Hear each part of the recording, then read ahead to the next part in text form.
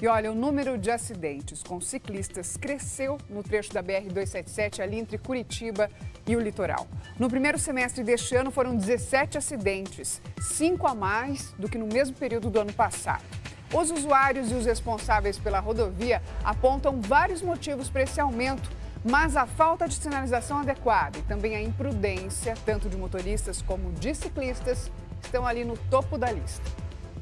A lei não proíbe o uso do acostamento pelos ciclistas nas estradas. Só que os acidentes entre carros e bicicletas não param de acontecer. O Paulo passa na BR-277 todos os dias para trabalhar e reclama do perigo. Muita gente não respeita, daí a gente tem que tomar muito cuidado, senão quem se machuca é a gente, né? Muitos fatores causam acidentes.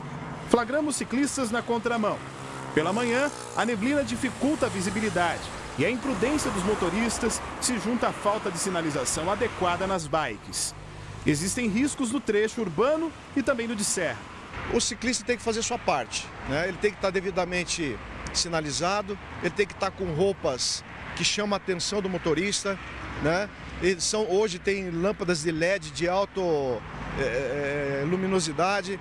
Para a concessionária que administra o trecho, é preciso mais cuidado ao dirigir. Nós vamos fazer uma campanha de, de conscientização dos ciclistas. Vamos fornecer alguns adesivos refletivos e criar essa consciência para que o ciclista se torne mais visível na rodovia.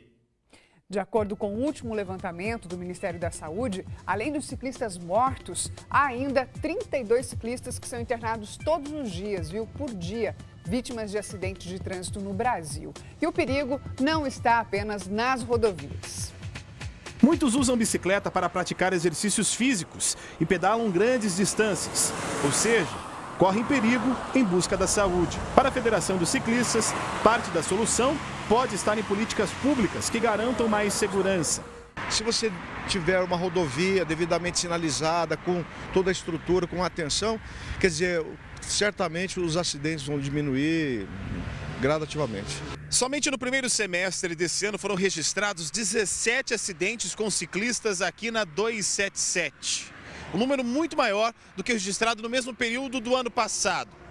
Mas o perigo para quem anda de bicicleta não está somente aqui na estrada.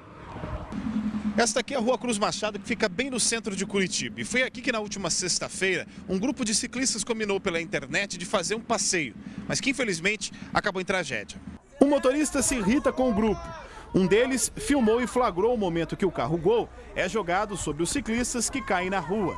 Por sorte, ninguém se feriu gravemente. Olha, gente, infelizmente esse absurdo aí que vocês viram, né? O motorista que tentou atropelar os ciclistas na última sexta-feira à noite aqui na capital ainda não foi identificado.